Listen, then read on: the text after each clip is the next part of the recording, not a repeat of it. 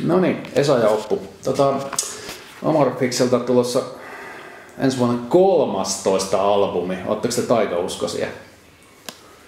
Ei, mutta nyt kun sanot, niin tässä on kaikki paatenteet ilmoilla. Joo, kyllä kieltämättä on vähän merkkejä semmosesta, mutta tota, en mä tiedä. Ei. Hyvä ei, siitä tulee. Hyvä tulee, että tota, ei, ole, ei ole mitään huolta siitä. Tota, mikä on semmoinen alustava julkaisuajankohta, milloin, milloin on tulossa? Toukokuu. Toukokuu 2018. No niin. Tota, onko levyllä minkäänlaista työnimeä tässä vaiheessa? Ei oo, mutta tota, Keksikää joku. no, biisejä siellä on kaiken näköisiä työnimiä. 13. Niin, No joo. 13. Mitä Siinä, siinähän se. O- Oletteko tosiaan aikaisessa vaiheessa kysellään, mutta oletteko te ehtinyt jotain semmoisia iso, isommista tavoitteista puhua tässä vaiheessa? Niin mihin suuntaan kenties biisit on menossa tai, tai ihan, ihan mitä tahansa? Hirveän vaikea sanoa. Kyllä se tota, tosi kornia sanoa, että siellä on niinku proge, Mm. proge-vivatteita, mutta kyllä siellä niinku on aika lailla.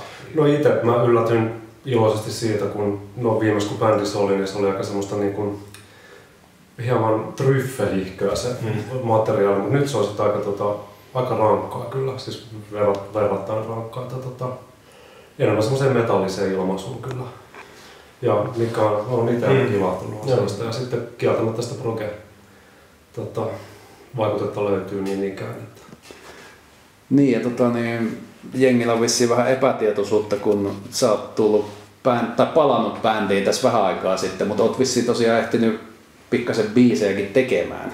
No mä nyt on tarjonnut sinne tota, jokusta omaa rallia, että tota, katsotaan nyt miten ne istuu siihen.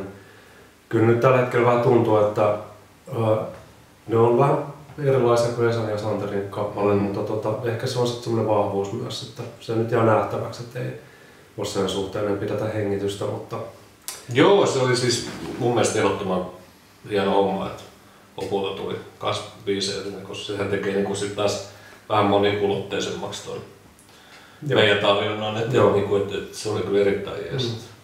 Ja sanotaan nyt näin, että kun lähdetään siitä, että homma jatkuu sitten neljännelläkin toista levyllä, niin ehkä sitten siinä vaiheessa Niin. niin. kun ollaan hitsauduttu niin biisin tekijöinä, Mm, ehkä vielä mm. lisää tässä näin. Että, tota. Mutta materiaali on kyllä vahva, täytyy sanoa, että äijät on tehnyt hirveä biisi. Tuottaja on Jens Bugren, kuten edellisilläkin levyillä. Mitenkäs se nyt sitten menee että valitseeko, onko Jenssillä viimeinen sana näissä biisivalinnoissa vai miten tämä menee? No kyllä se varmaan aika pitkälle sit menee, että tota, ja ihan hyvä niin, että jos läheskään menee samalla lailla hommat kuin viimeksi, niin kyllä se Jenssi on siinä aika, aika niinku kipparina, että, että tuota, en mä usko, että siinä jää kauheasti, kauheasti sijaa niin sitten omille idiksille enää sitten siinä äänitysvaiheessa. Mutta se on hyväkin, että voi niinku Niin. tavallaan saada siihen, kun ihmisellä on perspektiiviä siihen enemmän kuin itsellä, koska silloin sitten on niitä omia intohimoja. Niin. Ja, mistä sitten on vähän sokea sillä, että mikä se niinku, Mm. oikea niinku, tavallaan näkökulma siihen voisi olla. Mm. No tota levyn esituotanto käynnistyy tuossa Helsingissä kohta puoli. Oletteko te Jenssin kanssa minkälaista mailivaihtoa käynyt? Että onko sitä tullut kommentteja biiseistä? Ja, no yli, ylipäänsä tämmöinen ennakkokeskustelu, niin minkä, minkälaista on ollut?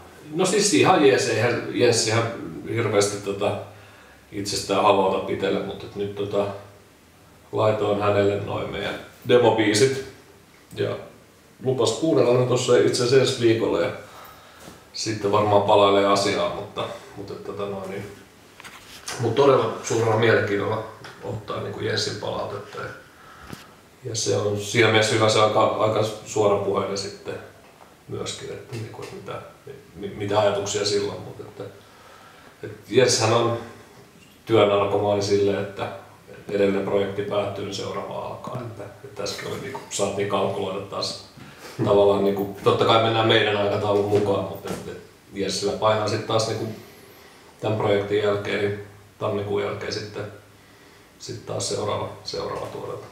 Joo, se tuli vähän itsellekin yllätyksenä, että tämä, se tämä prosessi on näin nopea tosiaan. Että reilu Mm. mm. pari kuukautta niin levy on valmis. Ja Joo. sitten kun bändillä on omat kiireet ja tässä nyt ei niin takavuosien malliin se on ehditty treenaamaan yhdessä. Mm. Mm. Se on ollut vaan keikkaa ja keikkaa ja sitten tota, aletaan treenaamaan vasta ensi viikolla ja sitten Mm. mm. studio siitä suurin piirtein kuukauden päästä. Niin, tai se esituotantovaihe, mm. niin tota, kyllä se aika nopeata on toimintaa. Mm.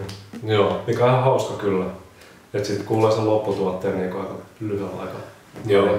Niin ei kymmentä vuotta tehdä levyä, niin kuin, kuten jotkut, jotkut Niin. bändit. No mitä eka levy odotettiin jotain vuosi, että se ilmestyy tai Niin joo, joo. Mutta tehtiinhän sekin nopeasti, mutta Niin. niin. silloin tehtiin biisejä kuitenkin niin kuin pitämällä syklillä, Mm. mm. että mm.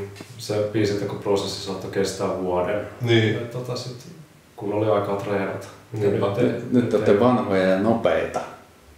Niin. No joo, kyllä sitä, tot... en tiedä, kyllä tämä niinku itse ottaa sitä tavallaan masterin puolustusta, että pääsee sen vihdoin pitää pientä lomaa tuosta alkuvuodesta, mutta et, ei tää niinku, me ollaan nyt kierretty tässä pari vuotta ja vikakeikka lauantaina ja sitten tota maanantaina alkaa treenaamaan. Se sillä